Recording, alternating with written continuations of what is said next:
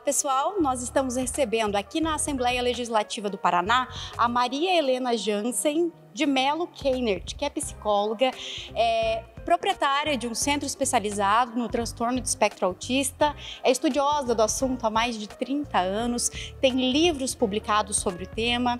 Gostaria de agradecer a tua participação aqui, aproveitar o teu conhecimento para repassar informações para quem está ali do outro lado da tela.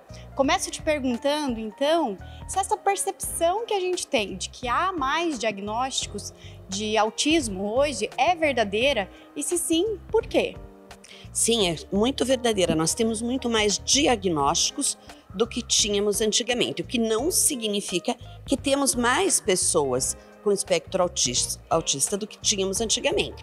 Significa que nós temos hoje uma capacidade maior de diagnosticar, temos mais conhecimento e também nós tivemos uma mudança no Código Internacional de Doenças que nos eh, ampliou a possibilidade diagnóstica.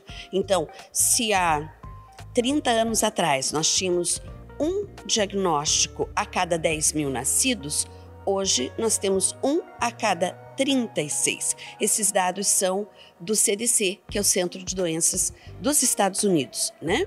E que nós sabemos que é um dado de lá, mas que pode ser ampliado para todo mundo, apesar de não termos essa prevalência aqui no Brasil, não termos esses dados de prevalência no Brasil. Isso. De que maneira esses dados mais locais talvez dificultem o trabalho dos especialistas? Eu acredito que enquanto nós não tivermos esses dados, muitas pessoas ficarão desassistidas. Por quê? Porque se nós temos uma preocupação, digamos, com 10 crianças, e nós teríamos que ter uma preocupação com 100 crianças, essas 90 estão desassistidas. Então, nós precisamos dos dados reais para que as políticas públicas possam acontecer para todos. A gente está mais de olho para poder diagnosticar precocemente ou precisamos de mais atenção nisso ainda? A gente está mais de olho, as pessoas têm maior conhecimento hoje em várias áreas, é, não só na medicina, mas na educação, não só na saúde, perdão, mas na educação como um todo. Mas nós precisamos sempre encarar que se nós não tivermos políticas públicas, e eu não falo em leis, porque leis nós temos muitas.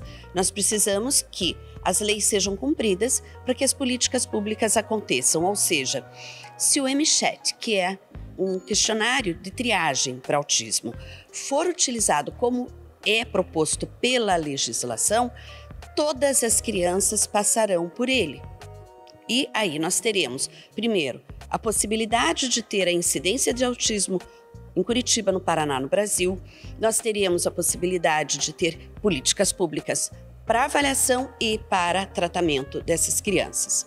E eu diria não só das crianças, das pessoas com transtorno do espectro autista, né? Porque a gente falava sempre, falou em crianças, hoje a gente tem que falar dos adultos, né? Porque nós temos hoje muito diagnóstico tardio de pessoas adultas que são diagnosticadas com transtorno, transtorno de espectro autista principalmente aquelas de nível 1, que são as pessoas que, de certa forma, conseguiram se criar, conseguiram se desenvolver com muitas dificuldades, mas chegaram à vida adulta sem um diagnóstico e sem um tratamento adequado.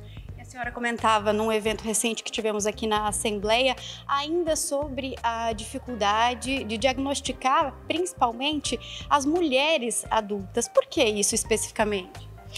As mulheres têm uma digamos assim, uma possibilidade maior pelo funcionamento cerebral mesmo de disfarçar, né? Então elas conseguem é, enganar socialmente e parece que elas estão adaptadas e parece que elas estão sobrevivendo de uma forma muito natural e muito sem sofrimento o que não é verdade. Então, essas mulheres passam a vida muitas vezes sem um diagnóstico adequado, consequentemente sem tratamento adequado e consequentemente com muito sofrimento.